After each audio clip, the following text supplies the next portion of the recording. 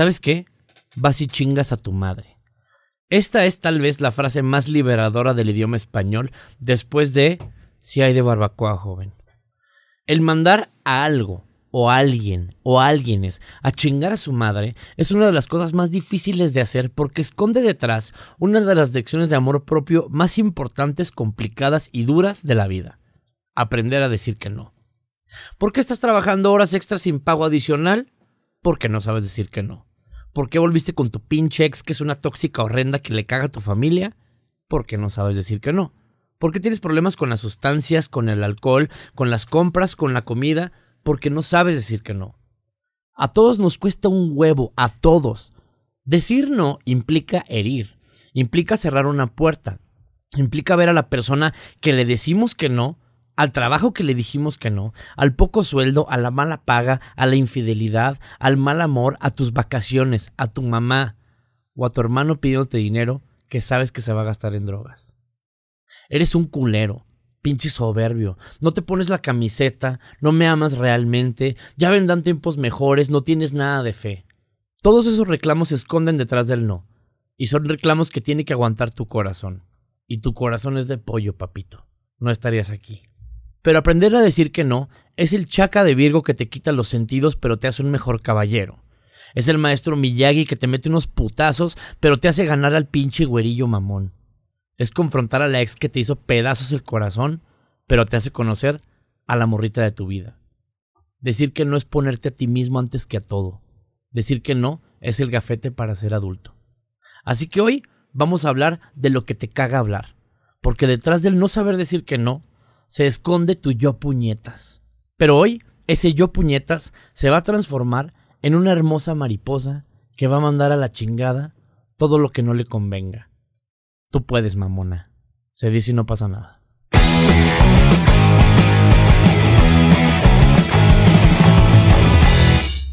Ok, el tema de hoy va a ser ¿Por qué chingados nos cuesta trabajo decir no? El tema es, cuando lo estaba investigando durante semanas, porque yo le dedico muchísimo tiempo a este podcast. No, no, no, espérame, no. Es que descubrí, güey, le puedes subir al aire y no seas cabrón. Este, hoy sí, hoy sí está. no lo va a notar la gente. va a decir, ay, soy un ventilador, no importa. Patológicamente los seres humanos no sabemos, o sea, batallamos para decir que no. O sea, es como una onda del ser humano. O sea, no es que seas débil, no es que necesites terapia, o sea, es, naces humano y así como te hagan hacer pipí, no puedes decir que no. Porque hay una, hay una cosa bien cabrona, güey. Es un sentimiento de culpabilidad y la idea de ser mala persona. O sea, relacionamos... Y es una idea que nos creamos nosotros. Relacionamos el ser no, el decir que no, perdón, directamente con ser mala persona. O sea, lo cabrón no es el hecho de, de mandar a la chingada eso. O sea, eh, que no te ponen horas extras o que te dice tu jefe así de, oye, ponte la camiseta, vente a trabajar en Navidad. Y tú, güey, a ver, hay cosas que necesitas el trabajo y no quieres perderlo, por supuesto. Pero hay otras que ya va más allá de la negociada y ya nada más es plenamente no poderlo articular. O sea, eh, tragarte el sacrificio porque eso creemos que te hace ser mejor persona, güey. Es un es un pedo gigantesco porque lo que yo destilé de cuando trabajé esto en terapia era, bueno, lo sigo trabajando, por supuesto, es eh, te fortalece el amor propio. Si no tienes amor propio, el no nunca llega, güey. Es como me decía una vez a alguien ahí que salimos, me dice, es que el pedo contigo, güey, es que te pones antes que todo. Me dice, y eso está bien, pero duele. Está bien cabrón eso porque crecimos con familia, creces con hermanos, creces con primitos, güey, y por lo general te enseñan a compartir. Espera su turno y formes atrás y luego van las niñas y luego sigue el chiquito y luego ya vas tú, ¿sabes cómo? O sea, creo que equiparamos el no con, ser abusón. Y eso es lo que aprendieron los supervillanos, güey. Dicen que no bien pelada. Por eso nos gustan los Darth Vaders, güey, los Frank Underwoods, güey. Porque saben perfecto lo que quieren y no temen pisarle, ¿sabes cómo? ¿Has visto cuando un... ¿Has visto cuando los carniceros matan a las vacas, güey? Es horrible, güey. Pero a la vez es de... Pero se hace todos los días. Alguien lo tiene que hacer. ¿Sabes cómo? O sea, siento que ese tipo de cosas es como matar a una vaca. ¿Quieres una hamburguesa? Ah, a la verga, güey. ¿Sabes cómo? O sea, duele, pero así es el mundo, güey. Eso es, eso es lo que como, como lo que me deja de enseñanza de así es, güey. Digo, ahorita vamos a ir a más ejemplos y todo. A mí lo que me puede un poco de, de- de- no apre- aprender a decir que no, es que lo vemos luego, luego en dos sentidos y dos ramas de las que quiero hablar rápido. Es el amor, ahorita hablamos de eso, pero la chamba, güey. En la chamba es bien cabrón decir que no porque juegas una posición en la que tú no tienes el poder. Ok. Y a lo mejor puede parecer como tu jefe o tu empresa no te enseña tanto las cartas y no te enseña cuánto te necesita, parece que no tienes nada para negociar, güey. Conforme te vas dando cuenta de que sí tienes algunos talentillos y de que sí puedes como ponerte Barbie, no es ponerte Barbie, güey. Es de, cabrón, no quiero salir a las 10 de la noche, güey. ¿Lo podemos pasar por otro ahora? Muy probablemente van a decir que sí. El tema es que cuesta un huevo poner eso sobre la mesa. ¿Sabes cómo? Yo lo, yo lo aprendí en una, cuando trabajamos en HBO, yo antes tenía un programa en HBO, y De veras. había una onda bien ojete, güey, que era, eh, la- yo creo que ya lo he platicado aquí, la morra del pelo mojado. Yo quería llegar así a la junta con todo ya escrito, no sé qué, y güey, me metí unas chingas y unas desveladas y llegaba, ni me gustaba el programa, güey, llegaba de malas, llegaba en que, ¿sabes qué, güey? Todo el mundo llega y se echa el cafecito y pues se pone a platicar. Y nomás yo llego así en, la nana fine queriendo empezar todo luego. Dije, "V- voy a hacer lo contrario. Que la junta empiece hasta que yo llegue. O aportar el 100%, pero acabarte el pinche pan tostado sentado, cabrón. Vive, no seas un animal. ¿Sabes cómo? O yo era en esos tiempos, yo tenía una ex que los dos trabajábamos un chingo, y decía, güey, es que como en el Uber. O sea, dije, güey, no mames, o sea, era una morra que tenía unos proyectos cabroncísimos, y comí en el Uber, o sea, como, como tantas personas, ¿sabes cómo es de, güey? A veces al que más nos castigamos, y lo dice bien chingón Neil Brennan, güey, es a, a esa uno. Si le dieras a otras personas el, el, el, el, el cariño que, O sea, no, si te dieras a ti el cariño que te das. Que no. ¿Vaya qué? Te das a ti el Sí. cariño que le das a las Ajá, otras personas. Exacto.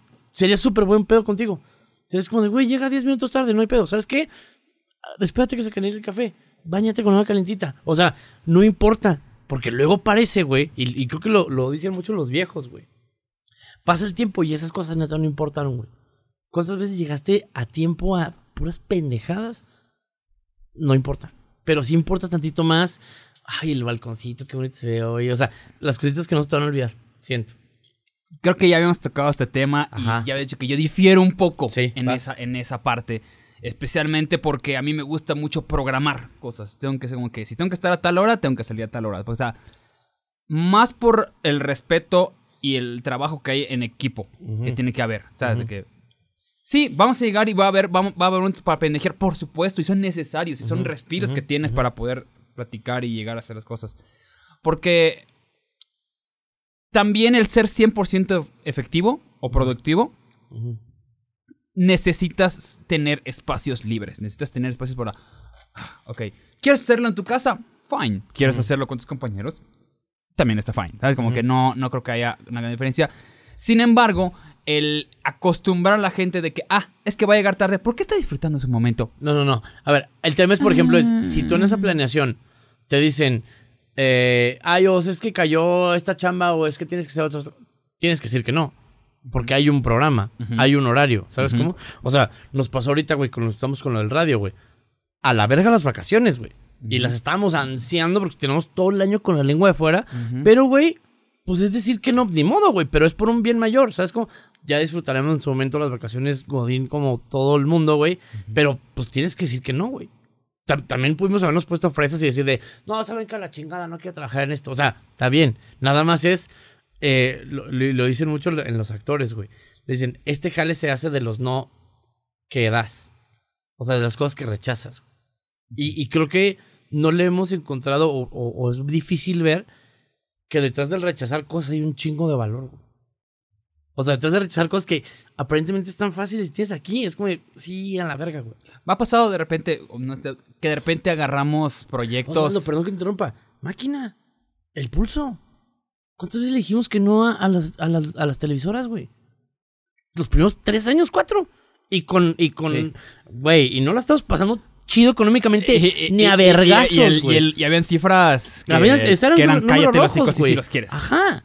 ¿Pero por qué? Pues porque creíamos en el proyecto y esos no, pues ni pedo, güey. A lo mejor me arroja el estómago, pero van por un bien mayor, güey. Creíamos en ese bien mayor. Sí. El tema es esos nos que dimos al principio, güey. O esos No a los partidos, no a las a a la ciertas verga, marcas, a la no a verga, ciertas. y lo tuvieron que aprender, güey. Y la parte chida es que ahorita ya ni se riman, güey. Porque es de, no, me lo voy a decir a Chum, ni te, Ni te me- metas. ni te metas, güey. Le vales verga. O sea, ya mis amigos ya saben, así, de, es que fíjate que te buscó una tía para, güey, ya saben que van a... O sea, y la parte chida es que empezaste rechazando eso, güey, ¿sabes? Luego no te vuelvas como AMLO, que le dijo que no a todo, güey. Y a la hora de armar equipos, te juntas con los Lex Luthor. son los malos, porque son los que quedaron. Quiero hablar de en específico una de las cosas, o sea, sobre todo en el trabajo, que los dos tuvimos como estas cosas eh, ásperas, güey, o amarguillas, así, empezando nuestra vida laboral.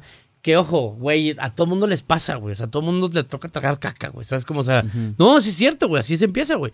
Es, yo me acuerdo tú, cuando llegaste acá al DF, o sea, no estabas pasando ni poquito chido, güey. Ni poquito chido y no lo digo como fue mi decisión, simplemente dije, Sí, sí. voy a irme a un lugar donde no tengo parientes, donde no tengo... Ujú. Sí tengo amigos, pero digamos muchos eran amigos de internet. Ah, sí, sí, sí, sí, bueno, bueno.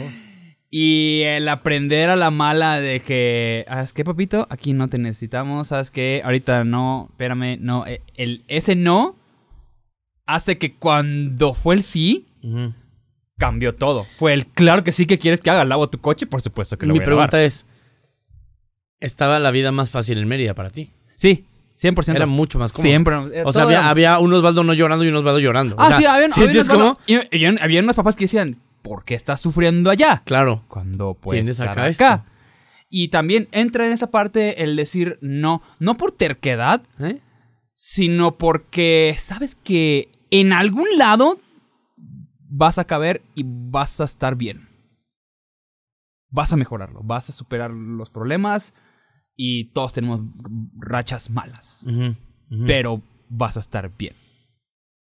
A la larga. No a la sí, primera. este juego es de Es paciencia, güey. Este Sí. juego es de resistencia, güey. Y es cierto lo que dices porque digo, creo que a, a ti y a mí nos tocó conocernos justo salienditito. Ujú. La primera garrita así fuera de la oscuridad fue eso, ¿no? Sí. O sea, yo me acuerdo que me, me veía cuando estaba estudiando ingeniería en Chihuahua. No, cuando ya trabajaba de ingeniería en Chihuahua. La vida estaba de verdad muy bien maqueteada, güey. O sea, estaba como de, güey, casarte chavitos, güey, you're done. Y luego la pinche voz en la cabeza así de, ¿quieres ser creativo? Y yo de verga. O sea, y me acuerdo, o sea, te lo contaba, güey. O sea, haberme ido de la casa, del sueldo que tenía, un jale estable, güey. Hablando, hablando de eso, perdón. Ajá. ¿Tú tuviste algún momento que tuviste que decirle no a una oportunidad laboral Televisa, güey. Ok. Televisa, o sea, era, era una cosa ya de ser guionista. yo- eh, me decía el vato, güey, un güey que respeta. Estamos ¿no? hablando de en el Inter de que estaba iniciandito pulso. No, hombre, yo tenía, neta, güey, si, si- si- si tenía tres meses con el pulso, eran muchos. güey. A los tres meses ya estaba ahí haciendo ruido y un vato de que Televisa me dijo de, güey, me encanta el pinche pulso, mételo acá. dije, no, güey, porque no quiero que, o sea, yo siento que esto va a ser muy bueno y no quiero que salga luego de Televisa. ¿Sabes cómo? Digo, ahorita quién diría que los chavos ahora aman a Televisa porque todos ven la casa de los famosos, en fin. Este, ajá, claro, Televisa sí, te lava el cerebro, lo viva Wendy. O sea, está bien, no pasa nada, Sí, está exactamente, muy- todo bien. Sí, está muy distópico. Está distópico, en fin. Pero le tuve que decir que no.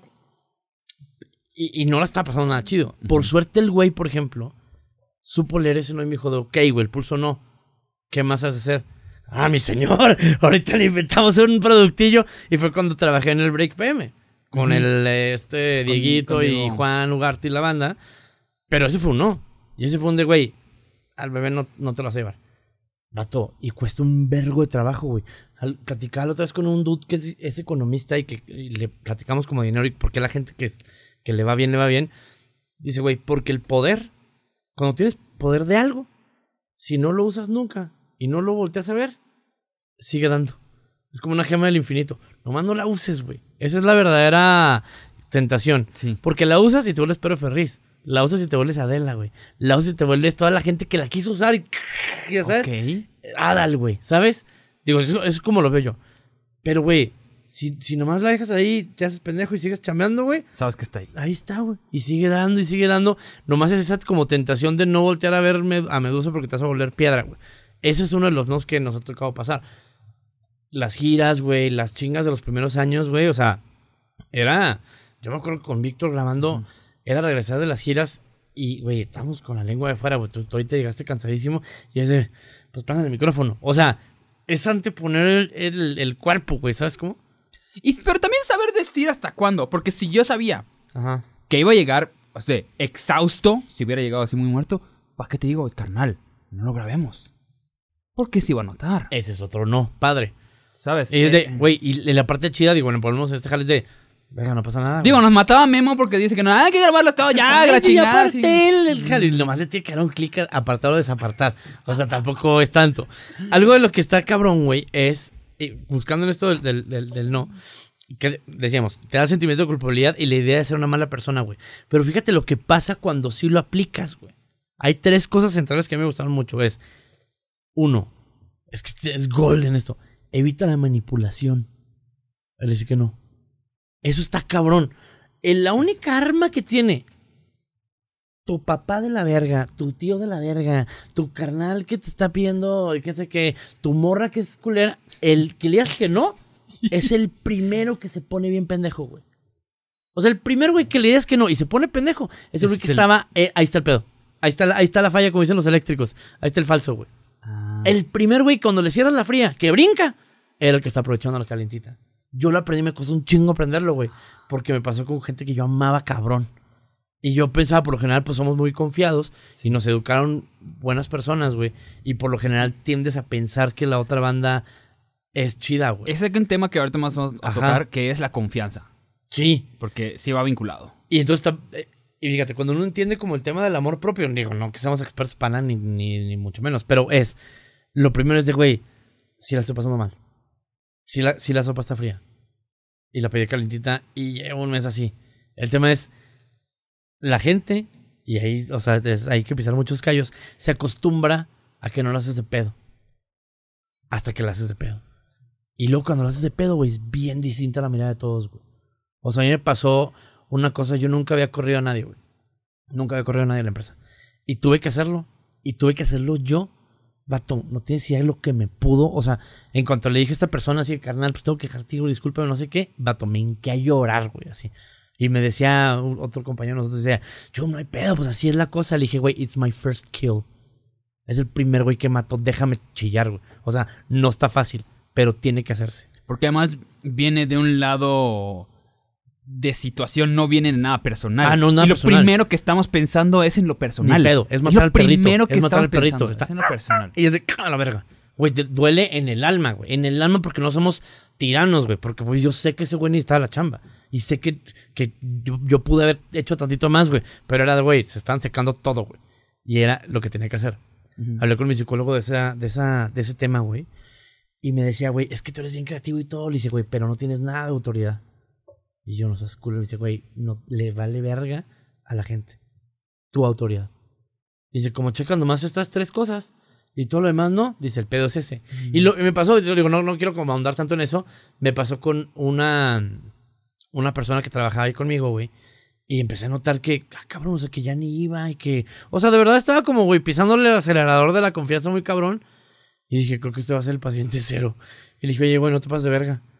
Y, y sentí como cuando... Como cuando le- los videos de bullying, que el grandote le pega... Que el chiquito le pega al grandote y luego el grandote le pega a regreso. Y si, y si he doesn't back down, es de ya ganaste. Entonces, entonces pegué y me quedé ahí firme. Y vi que dio, que funcionó y dije, ah, cabrón, así se siente. Hay un ejemplo bien chingón que, que usaba con mi, con mi terapeuta, que era el ejemplo, que no sé si lo he platicado, de Michael Corleone, de aquí. No. No, está bien chingón. Me dice, güey, para ejercer la autoridad, yo siempre busco como un personaje, como un avatar y como comportarme como él. Dice, Michael Corleone lo que tiene, el del padrino, dice, es que es un güey que sabe acariciar, pero también sabe cerrar el puño, güey. Entonces, güey, cuando hay que ponerse chingón, güey, estás chingón. Pero más que cuando hay que ponerse los vergazos, hay vergazos. Entonces te vives en esa dualidad, güey. Y está chido porque la autoridad es justo eso, güey. Es de, no te pases de verga. No te voy a matar, no te voy a ahorcar. Nomás no te pases de verga. Cuando empiezas a ejercitar ese poder del no, es de, ¿sabes qué? Te pedí la sopa caliente, carnal. Empiezan a cambiar las cosas, güey.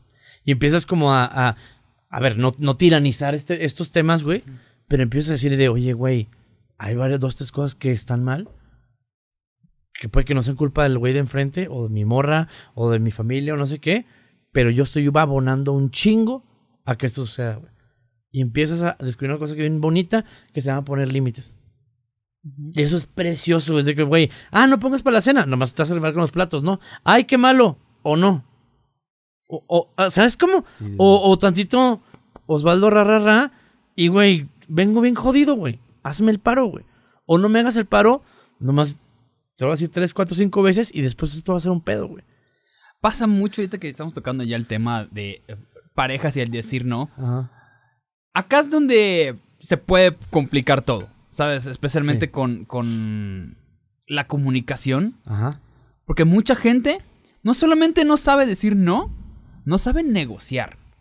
Sí. No sabe completamente. Entonces, entonces, es un, sí, mi amor, sí, mi amor, todo lo que tú digas, sí", o sea, es- diciéndole sí a todo, pero volteándose y encabronándose. Volteándose y hablando con sus amigos de, no mames, me están pidiendo no sé qué, no sé Ajá. qué, pero no le dice que no. Sí. No, dice- no sabe decir que no. Entonces está buscando una fuga por otro lado, que la otra persona se va a cansar de escuchar, que le va a decir, ¿has intentado decirle no a tu pareja? Ajá. Y no tienes idea cuánta gente hay así. Güey, y no se te hace que al confundimos un chingo el decir que sí a todo con ser buen novio o buena novia. Es de, güey, no se te hace que si, si dices que sí a todo y luego te enojas, estás haciendo daño doble, porque por otro lado es, no te están diciendo que no y estás creando una persona súper rencorosa, güey. O sea, es eh, del otro lado de la ecuación de ella o de él, güey, está en una persona encabronada, es de, güey, a lo mejor te caga. O si ponen los límites del principio es de, chaparra, me lavar los platos, la neta, no te voy a mentir, güey. Ah, bueno, pues vemos cómo lo hacemos. Ahí entra la negociada. ¿Sabes cómo? Pero de entrada entró con un no. Es de, oye, güey, ¿sabes qué? Todos los martes juego PlayStation con mis compas, güey. Ese es un no. ¿Qué, qué, qué es el no? Pues a lo mejor no vamos a salir este, los martes, porque esto yo lo hago. Y, y empiezas a, eso, güey, generar esta inercia de la negociación. Pero ninguna negociación empieza con sí a todo, güey. Algo que yo hago cuando. Este. Que nunca había hecho, una vez que hago, explicarle a alguien que a mí no me gusta hablar de mi vida privada. Que si entra en mi vida no va a estar en el reflector como, como creía o que voy a estar como anunciándolo a todos lados. Es un no que tuvo que poner desde un principio. Sí, pues sí. Y me dijeron, va. Va, va, va, va, va. Pero antes no lo hubiera hecho eso, ¿sabes? Antes hubiera dejado que las cosas sucedan, hubiera dejado que... O sea, mi punto a esto es, estoy aprendiendo también a poner esos límites y desde un principio, antes de que estallen. Porque no protege. Primero te protege a ti. Sí. Y estando protegido, lo proteges a, a la sí, pareja. sí, no, y es decir, me gusta esto, así me gustan las cosas, es que- así lo hago. Y te saltaste el punto 3, que es, o sea, las tres cosas que, que suceden con el no, o sea, lo que genera, el primero ya dijimos, evita la manipulación. El tercero, y todo el segundo es, evita posibles complicaciones. Chaparrita, aquí está el instructivo, güey. Nomás dice, no meta usted un tenedor al microondas porque se va a chingar. Te lo dice claritamente desde, el- desde antes de que lo prendas. Metiste el tenedor, va, se chingó. O sea, siendo claro con, con, lo hemos hablado mil veces, con tus no negociables, con lo que de plano no, Sí. Güey, nos va a hacer la vida bien sencilla, comadre. ¿eh? Y, y es un ejercicio de honestidad que ahí viene el segundo punto que dice. Esto me pareció cabrón. El aprender a decir que no potencia la autoestima. Claro. Verga, claro, güey. Claro. O sea, porque funciona. Entonces ahorita lo que pienso, digo, ahorita se me acaba de ocurrir, es de, ¿por qué la gente está... la gente que tiene, está bien buena, está bien buena? Porque le dicen que no al pan. Porque le dicen que no a quedarse jetones. Porque le dicen, o sea, al, al, al, al- ay, qué bueno al gimnasio. Uy, te, voy a- te conté. Está perro, o sea, él no paga. El decir que no es como de, güey, pues si te quieres poner, un culazo, dile que no a Burger King. ¿Sabes? O sea, Sí, sí, ahí es la disciplina. Pero Ajá. al mismo tiempo, esas personas tienen muchos problemas de autoestima. ok. sí. ¿Sabes? Porque se, se- Ah. le han dicho no a muchas cosas, a pero al mismo tiempo no saben eh, el rechazo, no tienen idea cómo confrontarlo. No, pero tienes, tienes razón porque son dos diferentes tipos de no. Sí, son dos diferentes tipos El de no, no. mental y el no físico es, Pero, es distinto. pero sí, pero sí se implica disciplina y si esa disciplina sí te implica autoestima. Estás completamente en Eh, el mismo carril. Sí. Sí, pero también esas personas están quitando eso y yo he visto personalmente gente, no mames, hermosa, Ajá. Que le tienen autoestima así. Chiquirrín. Chiquirrique, de que, le, que estás viendo que él anda con él, es un cabrón más feo, güey. Sí. Un güey horrible, pero la trae así. Y no es que la trate tan bonito. Nada más sabe dónde mover los hilos. No lo digo para que lo hagan, hijos de su No, chingada. no, no, eso es manipulación. Ah. Pero lo veo cómo le está costando trabajo el no aceptarse y quererse un poquito. Porque si se quisiera un poquito, ya se hubiera salido de allá. Ahí, no sé si hemos hablado de esto, pero, o sea, sucede una cosa bien cañona, porque detrás del poder del decir que no, es gigante. A ver, no se trata de decirle que no a tu jefe que es un culero, güey. Se trata de decirle a tu amigo que te está pidiendo dinero para drogas, güey. Y, y no puedes decirle que no, porque, porque va a llorar y porque te vas a poner mal. O sea, a, a miles de cosas de, güey, esa, no, no darle varo a tu morra cosas que no necesita, güey. Eso no. Eso, güey, como poner límites que duelen, güey. Yo hablo de una teoría que tengo que es la de la bola de básquet, güey. O sea, cuando la gente tr- trata de ver cuáles son sus problemas, siempre ignora. ah, Imagínate una tubería en una, en una regadera y está todo el tiempo tapada y dice, güey, es que, ay, tiene un chorro de pelusa. Es que tiene una bola de básquet encima, güey. El tema es que la bola de básquet es tu mamá.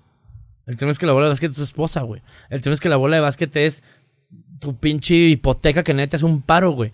O sea, y todo lo demás, pues claro que se va a juntar así. Quieres quitar las pelucitas, es compadre. Es esta la del pedo, güey. Sí que mientras más cercano esté en el corazón es más difícil el no. Sí. Y, y el, y lo cabrón de esto es que cada quien sabe perfectamente qué es lo que le duele. ¿Y por dónde? Está cabrón. Y peor cuando la otra persona sabe. No, no mames. Es peor cuando esa persona Sí, no, no, olvídate. sabe Sí, muy sí, bien que eso te va a doler. O sea, a mí me pasó cuando el, el día uno que tuve terapia, güey. Le decía, no, es que yo no tengo un pedo con... Tenía un pedo con esto antes, pero ya, ya estuvo. Me dice, güey, creo que eso es, güey, Darth Vader. O sea, era así, Darth Vader. Y yo de, no, fue hace muchos años y ya pasó, ya estoy chido. Ese de comadre, no. A ver, Carlos me dejó avanzar solito hasta que yo me di cuenta y dije, a la verga, si ese es Car, güey. ¿Sabes cómo? O sea, se me murió mi papá y lo mató mi tío. ¿Ya sabes? No, o sea, el Rey León no son Pero el tema es que ese es justo el pedo, güey. No es Hakuna Matata, güey. Es tu tío Scar que se está a tu mamá. no sé si puede que sí. O sea, si me entiendes cómo, o sea, el ¿Qué- problema. qué versión Ya sé, ya sé, ya todo. El problema es lo. Dejo que salen más leones, nomás lo digo yo, ¿no? En fin, el tema es que el, el, el no. El que sí vale, Sí. el que sí te va a curar, es el no que no quieres decir, güey. Porque vuelvo a una analogía bien chida que aprendí cuando me pasó un episodio con un compa. Este, y es. Hay situaciones que requieren un paramédico y hay situaciones que requieren una enfermera. El paramédico no tiene tiempo para tus mamadas y no de. Póngame una anestesia. Güey, es que estás sangrando, güey. Necesito suturarte ahorita en vivo y con la pinche aguja, güey. Porque necesito que no te mueras. Ese es el Para paramédico. empezar. Sí, necesito que no te mueras, imbécil. Estás desangrando en la calle. Y luego son los problemas de enfermera. Los problemas de enfermera es que cuando ya estás bien, ya estás de. Es que me puedes. Ah, está bien, te apapache, no sé qué. Pero, güey, cuando necesitas paramédico, ese es el no que necesitas aprender a dar. A ver, no se trata de que.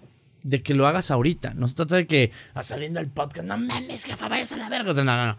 El tema es, por lo menos, darte cuenta que tienes un Darth Vader y decir, a la verga, sí. En un punto de la película, vamos a tener que enfrentar con esta mamada. Póngase fuerte. Ve y entrena, ve con el Yoda, güey, ponte mamado, güey. Pero esa madre de que viene, believe me, güey, viene. A veces los problemas que uno tiene, o sea, los grandes cañones, es una bomba de tiempo, güey. Algo que me creo que me decía mi, mi- mi terapeuta es. ¿Tú crees que estás solucionando un problema al dan- dando dinero o solapando o vas, creyendo? cabrón. ¿Sabes? Pero va a llegar un día donde vas a tener que cerrar la llave. Y ese día, por más que hayas dado apoyo y cosas y amor y lo que tú quieras antes, se van a acordar de ese día. Te digo Del algo, día- así te adelanto la, la película, se vuelve la niña del exorcista. La niña del exorcista. Cuando le cierras la llave a la gente que le tenías abierta, el exorcista. No lo, no, te lo juro, es tan doloroso que si no estás pre- preparado, no lo puedes ni creer. Y esto, verga, güey. O sea, pero 15, 20 años, sí, sí. la- es un episodio, güey. Pero tú tienes que, como digo, ser el grandote que le pega y se queda ahí en firmes, porque va a pasar. Digo, y es de tema Ese que es- tú es- quieras. o sea, vato, puede ser amor, gigante. puede ser No, dinero, no, puede no, ser. sí. O sea, Sí, te entiendo. Nada más es de. Porque sabemos de lo que estamos hablando los dos, porque somos muy cuates. Es. Ese momento es bien cabrón. Porque. Porque no lo esperabas y es como de. A la verga. Pero detrás de tu cabeza. Sí sabías. O sea, a mí me pasó. Cuando me pasó, es, es cerrar la, la, la fría, güey, y de repente, así, dije, güey, es hold the door.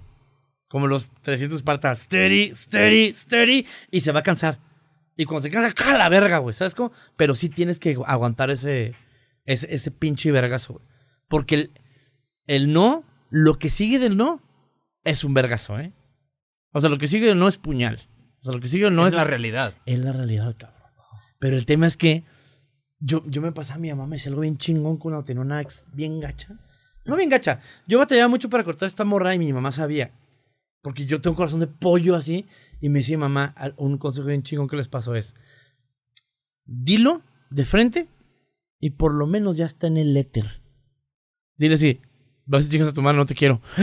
Y ya está aquí, güey. O sea, ya aunque le quieras arreglar, es un, es un pedo en el que te estás metiendo. Pero ya soltamos la sopa y te quedas así de.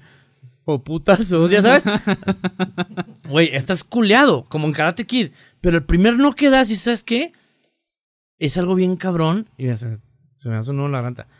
Me estoy escogiendo a mí. Perdón, güey, pero eres de la verga, güey. O sea, me ha tocado dar ese tipo de mensajes así de. de es que no sabes quién no, no, sé perfectamente lo que quiero. El pedo es usted. El peor es tú. Y mi vida va a seguir, güey. Y si quiero que siga y estar contento, tengo que decir este no. Nos vamos a agarrar chingazos o lo vamos a pasar bien. Up to you. Es como decía Bill Burr. Si salimos en las noticias o no, es cuestión tuya, güey. Pero esto va a pasar. ¿Sabes cómo, güey? Y está bien cabrón, güey. Por eso los divorcios, güey, no son malas noticias. Es Sí. alguien Ese dándose cuenta de, ¿sabes qué? Pues te vas a la verga, güey. Alguien dijo esa frase, güey. El bueno o el malo me vale madre. Pero alguien la dijo y eso se me hace siempre positivo.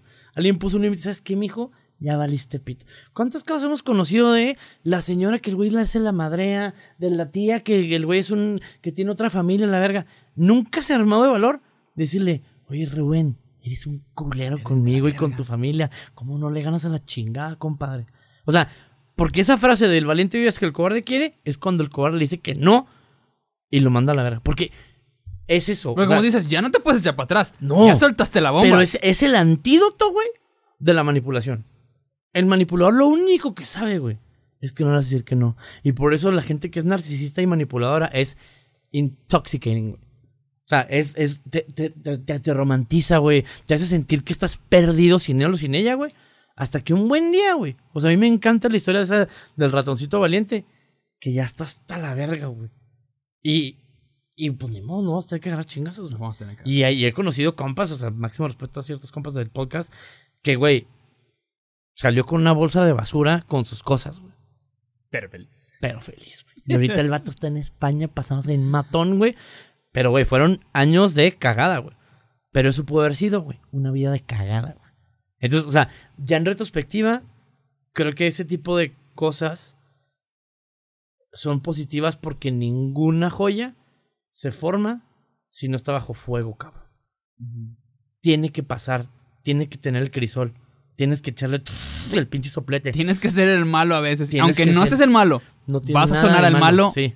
Ahora, piensa qué vas a hacer. Piensa cuál es la estrategia. No eres pendejo, no tienes 14, güey, ¿sabes? Es, ya tenemos vidas y tenemos vidas adultas, güey. Pero también es, papacito, esto dura 10, 15 años más, cabrón. Vas a aguantar esa cagada 15 años más. Ve a tus abuelos, güey. Ve a tus tíos abuelos.